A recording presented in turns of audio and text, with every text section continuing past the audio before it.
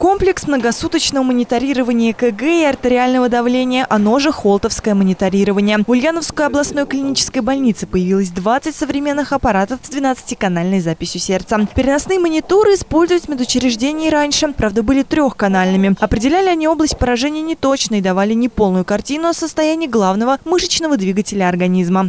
Обычная электрокардиограмма снимает ЭКГ в течение нескольких секунд, то холтеровское мониторирование, или, ну, или чаще всего это суточное мониторирование КГ, а, проводится в условиях повседневной активности пациента.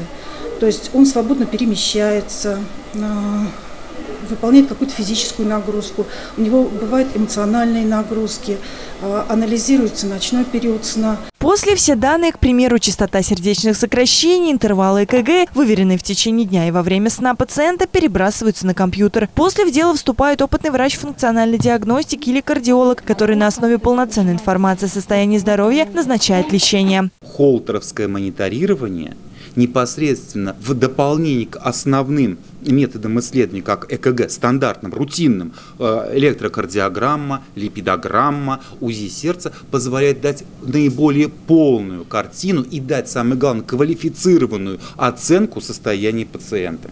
Сам аппарат состоит из регистраторов или мониторов и 10 электродов. Другая часть суточного мониторирования – программа анализа. После того, как врач установил электроды на теле пациента, портативный монитор помещается в миниатюрную сумочку. Для мужчин синего цвета, для женщин красного. Запись кардиограммы может идти в течение нескольких суток. Все это время пациент должен вести дневник здоровья в электронном виде с помощью сенсорного экрана или же в традиционном письменном варианте. Рената Алиулова, Александр Кудряшов. Новости Ульяновской правды.